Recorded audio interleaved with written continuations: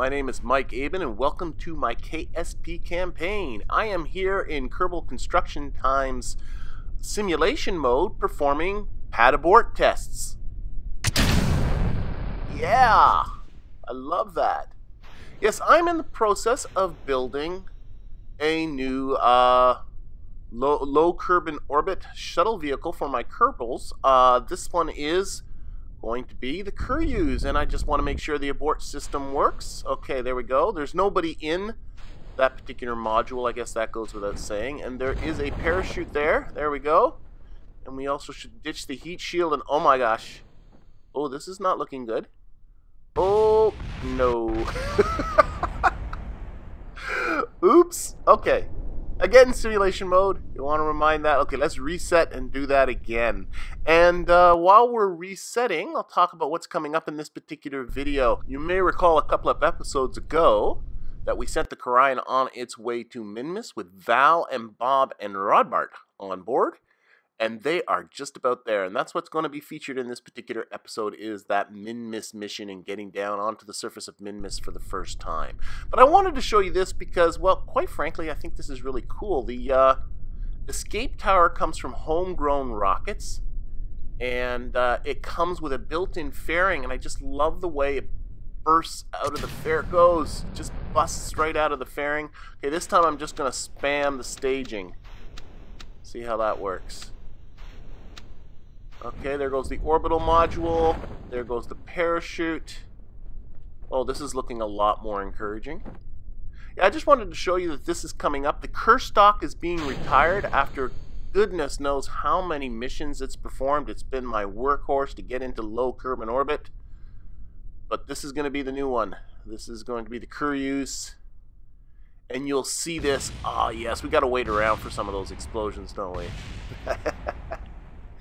yes, this is going to be uh, our new vessel for getting Kerbals into low Kerbin orbit. And you will be seeing this undoubtedly in a future episode, but for now, let's get ourselves to Minmus.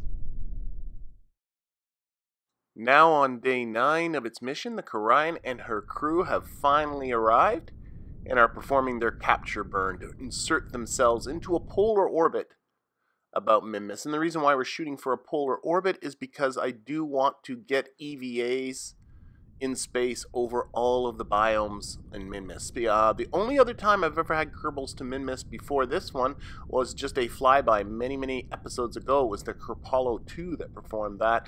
And during that mission, we ended up getting EVAs over the lowlands, the midlands, the highlands, and the slopes.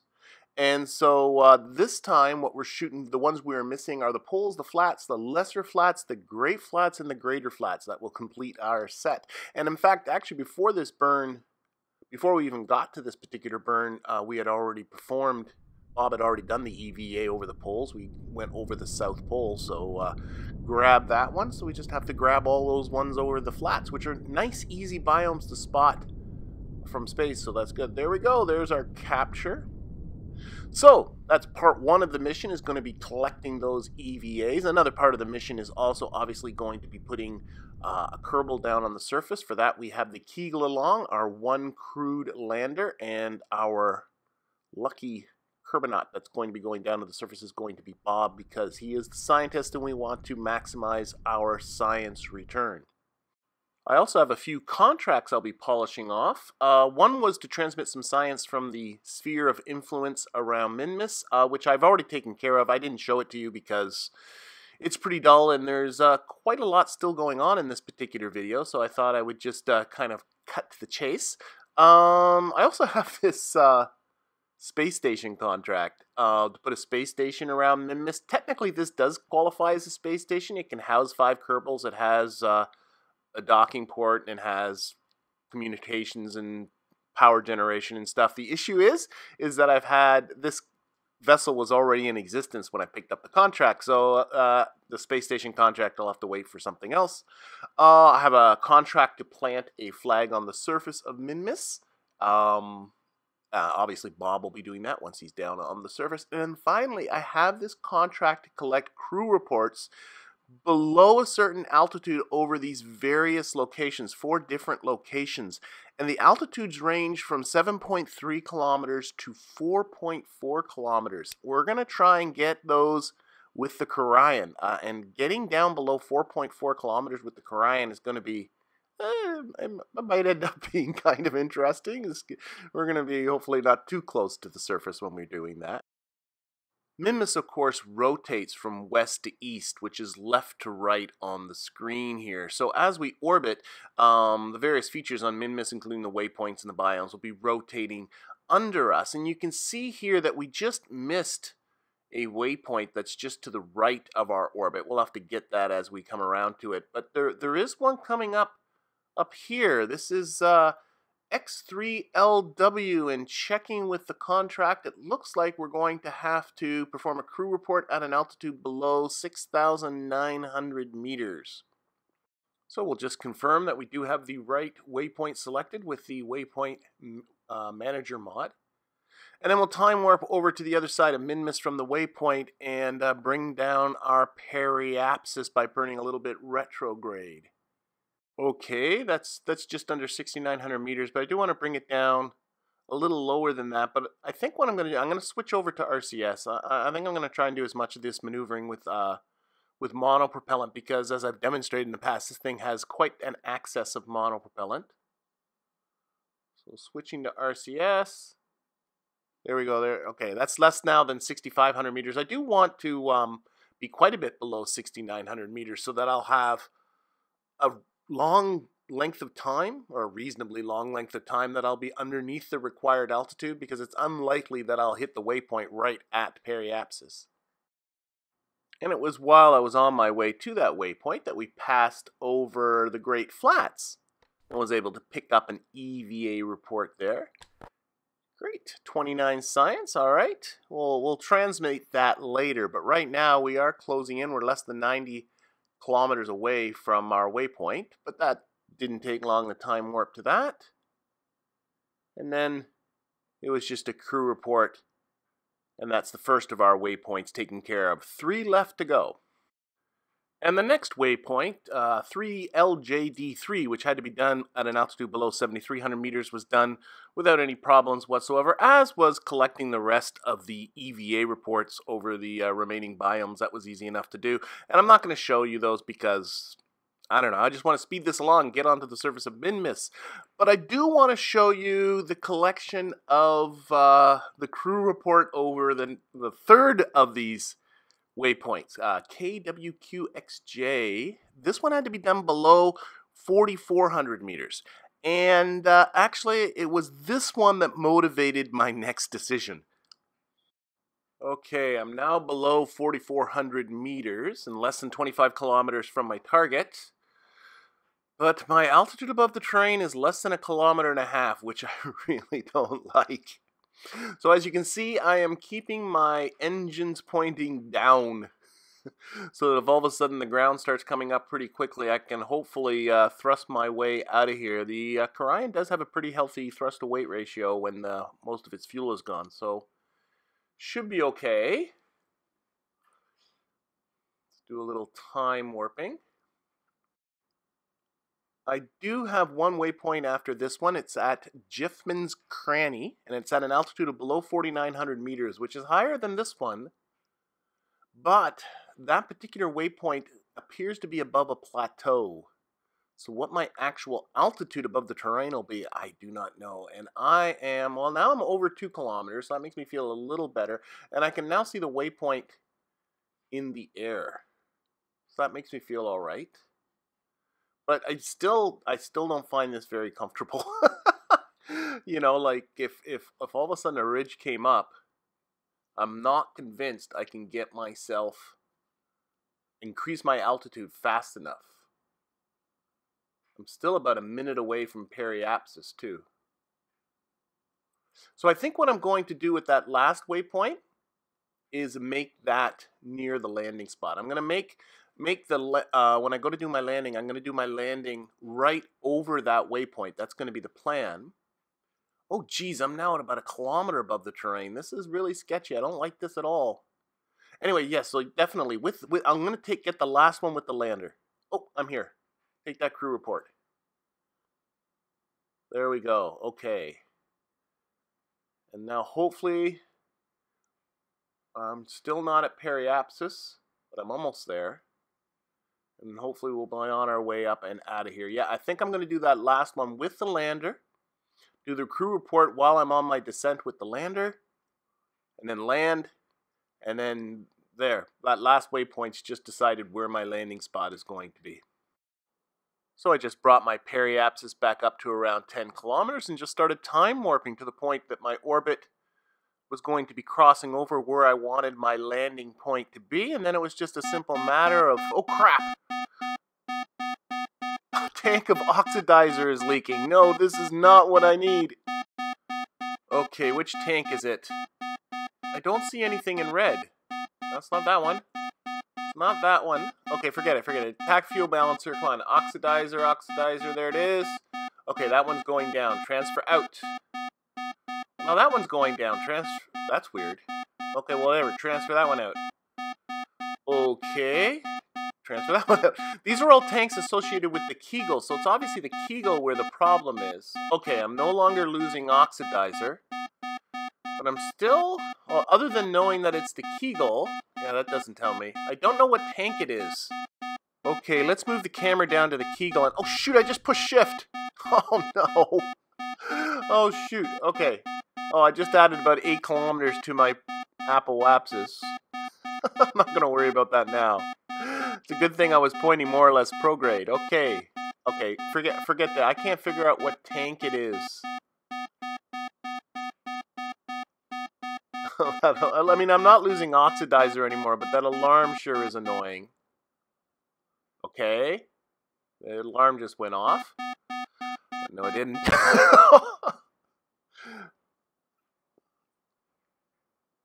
Okay, Bartner, come on.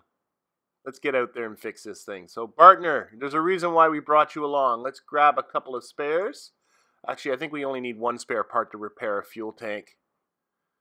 But uh, bringing some extras doesn't hurt. Okay, let's get down to the Kegel. It has to be one of the tanks down here. Whoops, whoops, whoops. Nope. Get back up. Okay, let's see. Right click on that toroidal tank. Nope, that one's fine. Okay, the Oscar. Nope, that one's fine. Okay, let's move on down. Okay, is it this tank here? Nope, that one's okay. All right, there's just one left. The tro nope, nope, that's the engine. No, the, the tank there. Oh, there it is. Apply duct tape. Apply duct tape, and it is fixed. Oh, what a nuisance. I don't think I lost all too much in all of that. So uh, let's get Bartner back up there and get ready to uh, send Bob on down to the surface. Hopefully we won't have any other dang it mishaps along the way. So we time warped over to the other side of the planet from the waypoint. We'll transfer Bob down to the Kegel. There we go.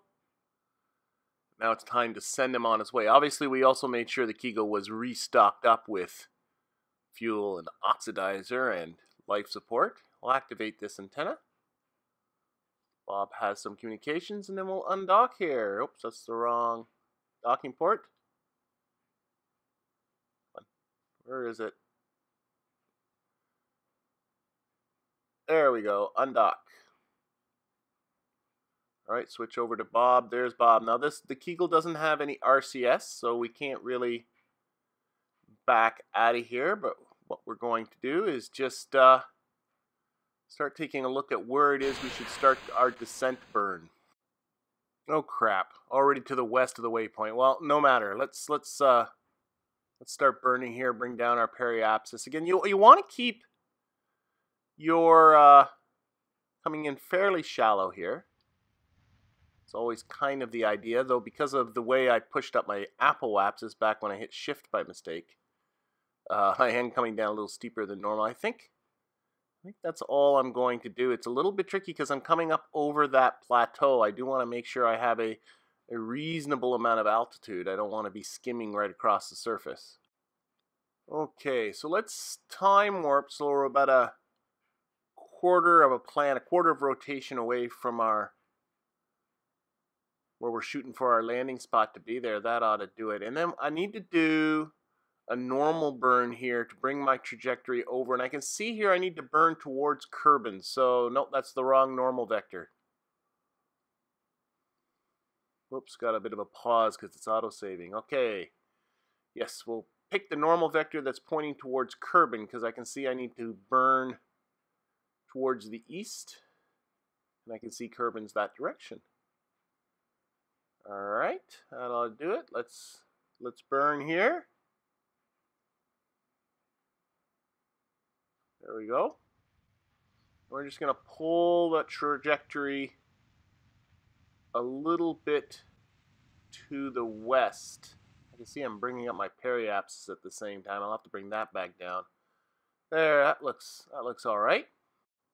And we'll cut ahead a little bit here where I noticed once again that the waypoint had rotated under my trajectory and is now to the west of my trajectory once again. So I'm going to have to burn once again a little bit more to the east. You know, I, I lose track of just how quickly Kerbin, or not Kerbin, Minmus, how quickly Minmus rotates.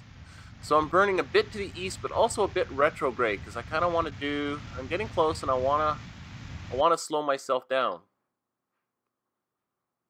Yeah, burn a little bit more to the east. I think. I think so. I mean, I have been burning enough to the east, so burn a little more to the east. There we go.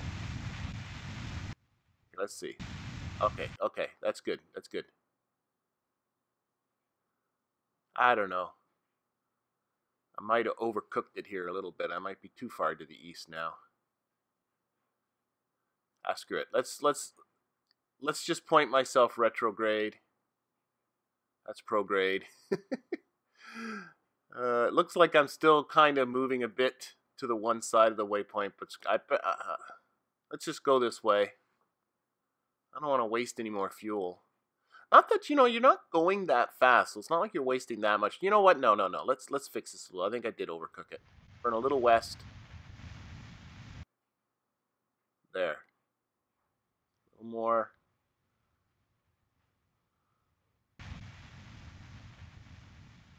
Okay, I am now going right over the waypoint. I am less than 20 kilometers away from the waypoint, so I mean, I can't imagine. This has got to be good enough. And I'm below 4,900 meters. My altitude, my my uh, altitude above the terrain is under a kilometer, but that's okay. My vertical speed is still just barely over negative 10 meters per second, so I'm not falling particularly quick. And although this thing had a pretty poor thrust to weight ratio on the moon, which had me uh, crashing into the side of a shallow hill, if you recall. On Minmus, this has plenty of thrust for Minmus. So I should be able to stop myself fairly quickly. So I'm just going to get ready to take my crew report. I'm not really care. I don't care if there. Oh, there it is. Crew report. Come on, there we go. Crew report. Okay, that contract is now done. All we need to do now is land, and I think I mean, what's below me looks all right. I might as well just, I think I'm just going to put myself down. Let's do it. So we're going to kill off our horizontal velocity. I am about a kilometer and a half above the surface, which is plenty. Should be a very comfortable landing.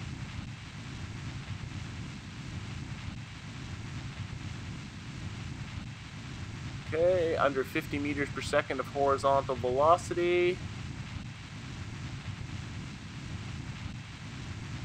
Under 10. Okay, that's good. Let's point up. And we'll push that retrograde icon up to the top of the nav ball so that we are just falling straight down. It doesn't take a lot of thrust to do that. we go. Now we just follow ourselves straight down, uh, keeping an eye on our vertical speed, of course, keeping an eye on our altitude, but we are still at a pretty comfortable altitude, well over a kilometer above the surface.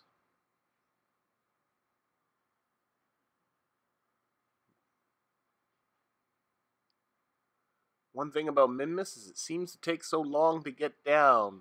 Actually, Minmus is incredibly forgiving when it comes to landings. Uh, f- most people would recommend for people doing their first powered landing to not go for the moon, even though the moon's an easier target to hit. But uh, take the extra effort, go to Minmus. Minmus is much easier to practice your landings on. It's much more forgiving because the gravity is just so much less.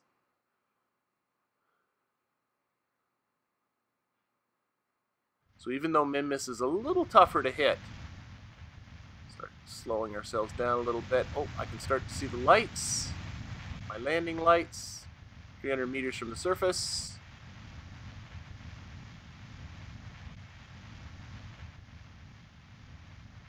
Two hundred.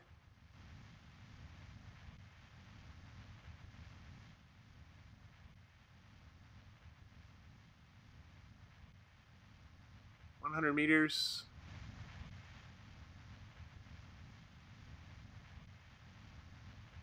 Helps too to hit cap locks. That gives you finer thrust control if you turn on cap lock. And we are ooh ooh ooh little fast oh little fast there. Got a bit of a bounce. Come on, straighten up there, Bob. Here we go. Bouncing's one of the biggest issues. Okay, we'll turn off the SAS. And it's sitting there comfortably. All right, let's get ourselves some science.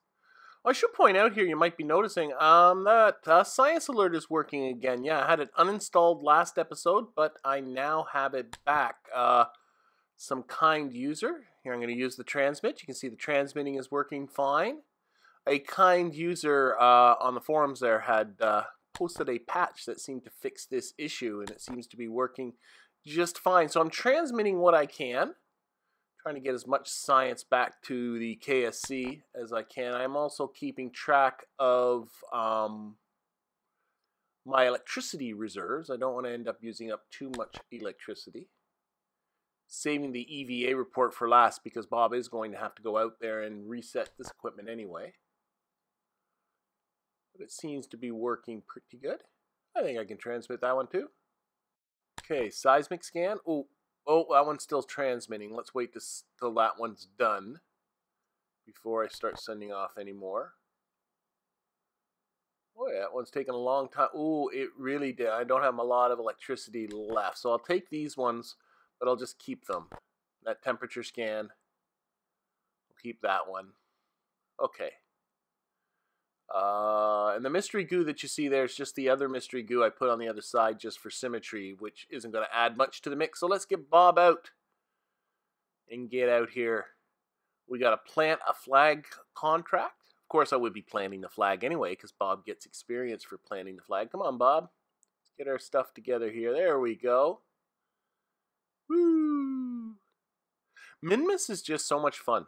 I just love the the lightness of the gravity that uh, it's it's light enough to have fun with. EVA report and surface sample, of course. It's light enough to have fun with, um, but not too light. Like for instance, Gilly, which is orbiting Eve. The gravity there is so light that it's annoying, but here it's just fun.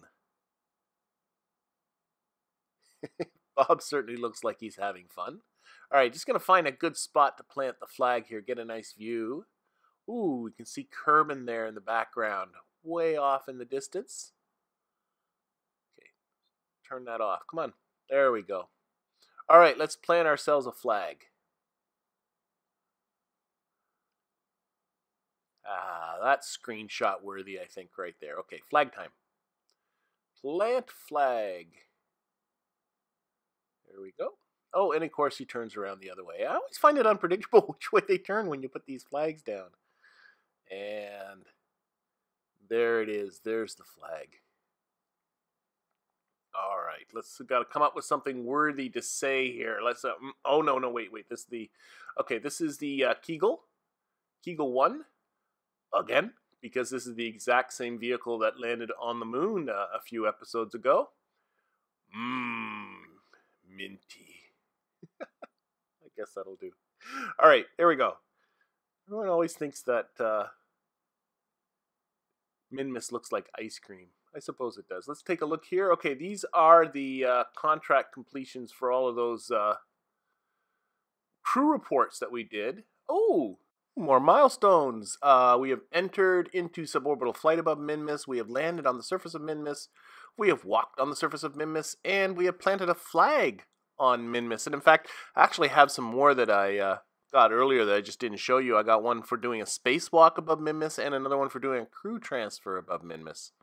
So anyway, Bob is just going to uh, scoop up this science. Having too much fun, I think, bouncing around. And then come the question, you know, I can't just make this it, can I? I mean, this lander was built to land on the moon, so it has quite a lot of delta V. And in fact, right now it has uh, 1,357 meters per second of delta V left, more than enough just to get back up to the Kerion, which actually is only going to be a couple of hundred meters per second to get back out and get into orbit. So, uh, yeah, we got to get ourselves to some other biomes. The biomes tend to be packed pretty close together on Minmus.